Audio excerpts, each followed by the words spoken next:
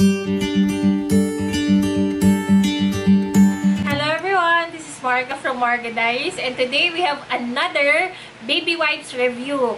Yes, ito hindi to requested. Talagang nakita ko lang to sa ano, sa SM kasi galing kami ng SM. Uh, I went to an event. I'm gonna show you the event. I went to the event with Sabrina, my friend. Tapos nakita ko na meron nagbebenta ng parang buy one get two dito sa item na to. Tapos sabi ko sige nga, let's try it. I have never tried this. I have to tell you, I think I reposted a couple of reviews from other moms in my page about this. Also yung mga parang kiniklaim na iba na masama daw to sa babies, mga ganyan. So, wait, without further ado, I'm gonna show you what it is. So, I'm, we're gonna review Nursey. Yes, Nursey Baby Wipes. This is the powder scent po. I, I know na marami silang variants, pero ito kasi yung mas nag-scream out sa akin nung bumibili ako. So, I bought this. Like, parang... Wait lang, guys. Someone's calling.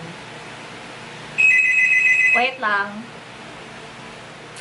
Okay, I'm sorry, I'm back. So, nalaglag yung camera ko. Medyo kinabahan ako ng konti because this is actually my first investment with the camera. Anyways, so okay, we're gonna go back. So, this is Nursey. This is Nursey. We put this to the test na. Siguro we've had this for almost two weeks. But, ano, I'm not gonna lie, it's not my favorite. But, I'm gonna tell you why it's not my favorite. So, okay, I'm, let's open it up. Maganda to ah. In fairness, the packaging naman is at par okay. Para siyang, ano, at par pareho kay Sundumi sa packaging. So, this is what it looks like. Meron siyang film, protective film, as you can see. And then, we're gonna get one wipe. So, there. The wipe itself is embossed, like katulad nga na nakalagay. But the wipe itself, like yan. So, uh, as you can as you can see, embossed siya. Medyo makapal naman siya in a way. I don't know kung ilang grams to. We're gonna read kung ilang grams. May nakalagay ba? Wala. Walang nakalagay na grams. But, cleanses in one wipe. Okay? Yun yung nakalagay. And then, we're gonna read the ingredients. Ingredients is water, flopperit glycol, PEG 40, castor, blah, blah, blah, blah, blah, blah. May perfume. So, okay, because of the scent, it has perfume. I'm not really fond of anything na may pabango with, with wipes per se, diba? Like, I like I told you guys with my Sundumi wipes. So, okay, this is what it looks like. And, titingnan natin kung wet ba talaga siya. Okay. Yeah, wet naman siya. Hindi lang siya like katulad nung iba na tipong parang okay. Oh, ngayon wala na. Okay. So, okay naman siya. So, we're gonna do the tear test. Yan. Maganda naman. Like I said, makapal naman kasi. But you know, this is not like my favorite. Like I said, and I'm gonna tell you why it's not my favorite. Yan, it's not my favorite. Um, I personally don't want to use this for Alaric's face per se because it has perfume on it.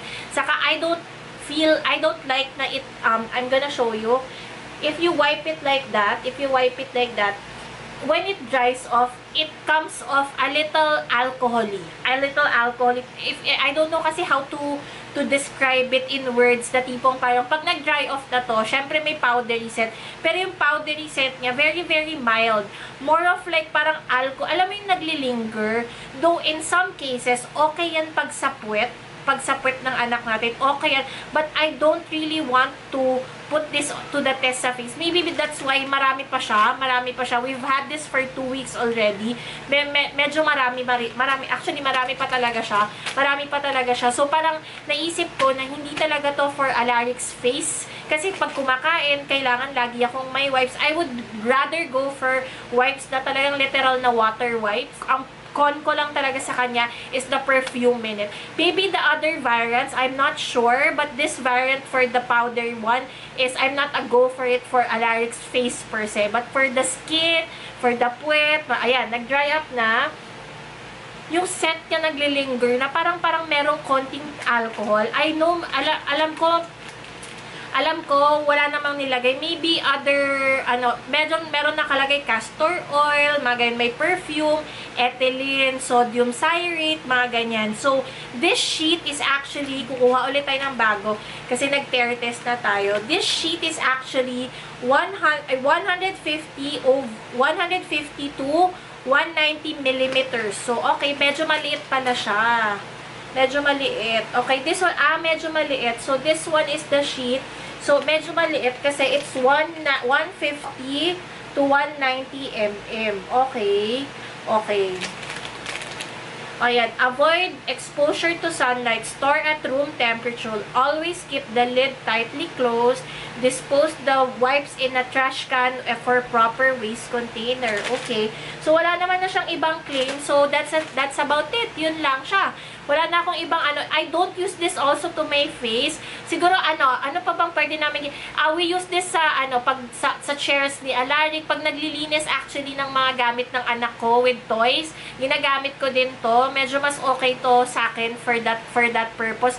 Pero for baby's delicate skin na katulad ng sinasabi nila, I wouldn't go for it for that because I don't like it. I don't like the the powdery scent na sinasabi. I don't like that it lingers, period. I don't like that it lingers. But you know, okay na okay sa akin ang thickness niya. Okay na okay sa akin ang thickness niya. At sobrang tears, dun sa tear test, nakita niyo okay naman siya. So, I'm gonna rate na lang Dercy. I'm gonna rate Nursey at 3. 3.5 over 5 stars. And I don't think this is gonna be mom-approved for Alaric's face, per se. Okay, for maybe for the bun na lang, for the bum pala, for the bum, and for the toys of Alaric. I'm still gonna use this, sayang naman, dami ko na rin nabili, ba diba? This is buy one, get two na maliliit in SM. I don't know if it's still available na buy one, get two pa rin siya. But you can buy them in off Shopee, also in Lazada. I think, um, I'm gonna put here na lang sa picture, saka sa description kung saan nyo sila pwedeng mabili. And this particular variant is not really a go for me. I'm gonna rate it as a 3.5, I don't know, 3 na lang, 3. I'm gonna rate it ko, correct ko na lang yung sarili ko. I'm gonna rate it as 3 over 5. Pasado pa rin naman siya sa akin because of the thickness and stuff. But I just don't want to use it on Alaric's face. That's just me. Uh, kung may, may, may gusto pa kayong Nursey products na gusto nyong i-review ko, let me know dahil up naman akong bumili ng mga ganun. Gusto ko din naman na mag-review ng mga products ni Nursey. Marami kasi silang variants. Meron pa yata sila nung I don't know na ibang brand pala yon Pero next in line ko na i na i-review is another good good ano, good good ang tawag dito, uh, baby wipes, it's Sanicare. Next time na yun, next time na yun. Pero, yun lang, babies. Let me know what your thoughts are with Nercy. Kung gusto nyo ba siya, kung ano pa yung dapat kong itry sa kanya. Si, ayan o, oh, nakikita nyo ba? Wait lang, is, dala. Ayan o, oh, Ayan o, oh, tignan nyo nagda-dry up siya. So, parang feeling ko parang may alcohol content or something. Ayan, nagda-dry up siya o. Oh. Nakikita nyo ba? Ayan oh. wait lang, I'm gonna zoom. Ayan o, nagda-dry up yung, yung fingers ko. 'Di ba? Kanina ko pa siya hawak. I'm not sure talaga. I don't like it for Alaric space talaga. No, no, no, no, no talaga siya for me. So, ayun lang mga base. I hope you find this ano, review informative because I, I really test eh. Kita nyo naman, I really test talaga for my son. Saka, tinitignan ko din talaga. Alaric is not sensitive in any way. His skin is not sensitive in any way. So, talagang ginawan ko din talaga ng paraan. I think I used it a couple of times. Siguro twice, thrice sa mukha niya while eating, sa kamay niya niya, mga ganyan, but it's not really good for that. Ayoko yung nag naglilinger yung amoy, like, Ayan, like right now, naglilinger. I don't know how to describe it in words kasi. So, anyways, ayun lang. So, don't forget to follow me in Instagram.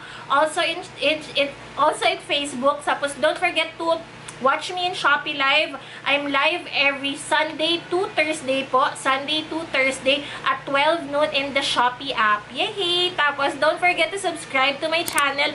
Hit the notification bell para po mag-notified kayo sa next upcoming videos ko. Marami po akong reviews this month of August marami talaga akong i-review this month of August. Medyo napadami kasi may mga nagpadala sa akin, mga ganyan. But ano, most of them binili ko talaga para alam nyo din na kung ano po yung binibili ko, talagang alam kong ginagastosan ko yun. Talagang kailangan nyo malaman yung totoong say ko talaga doon. So, ayun lang, babies. Thank you for watching. I love you guys so much.